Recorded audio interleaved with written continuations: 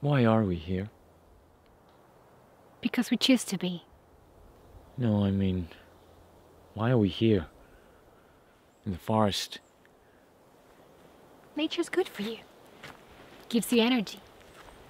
The trees, the plants, the grass, and the air gives you what you need. You've been asleep for over a hundred years, you know? Yeah. I know. It'll take you a while to get used to this new life. I printed out these clothes in the style of 2008. Just so you can wear something that feels familiar to you. Like them? You printed them out? Yes, on the 3D printer. High quality though. Just like 2008. You can print out clothes? Sure, I can print anything. I'm sorry, I'm getting a call.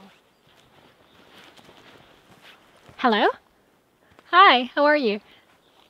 I'm fine. I'm walking my wake up in the forest. My wake up, yes. That's how we call them. The people we're waking up from Cryogen Station? They need a lot of attention at the beginning. Oh, can you put them up? Oh, they are so cute. Oh. But I didn't have to go. Sorry, I got a call. But where's your cell phone? My cell phone. Oh, you mean my CD, my communication device?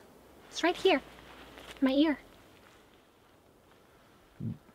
But what was with the waving of the hands in the air and stuff?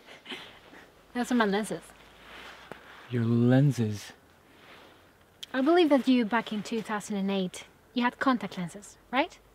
Sure. Well, these lenses can show me images. Like the old computer screens, except that I have the screens on my eyes. And I can move all the images and everything else with my hands. You get lenses too, if you want them. Is it expensive? Expensive. What does that word mean again? It means. It means it costs a lot of money. Oh, okay. No, no. There are a lot of things I haven't told you about our world, but um, we don't use money anymore in this culture, on this planet. You don't use money? Nope. So you could have anything you want? Well, yes, but we don't want more than we need. And I don't need 10 pair of contact lenses. It works pretty much the same way as your old libraries used to work, except that we can keep whatever we want or need as long as we need it. Don't worry, you're gonna love the future. We're one big family, understand?